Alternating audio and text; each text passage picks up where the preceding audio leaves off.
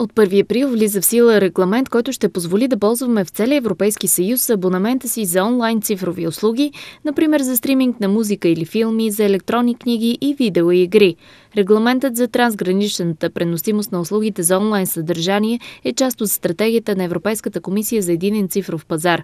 В момента някои от цифровите онлайн услуги не са достъпни заради геоблокиране. От началото на следващия месец на това се слага край, каза евродепутатът Ева Майдел, която е докладчик за групата на НП в Комисията по вътрешен пазар. Само след броени дни, от 1 април, съвсем наистина и в никакъв случай на шега, ще може да използвате всеки един онлайн закупен абонамент за филми, музика, игри или книги навсякъде в Европа, както го правите сега у дома.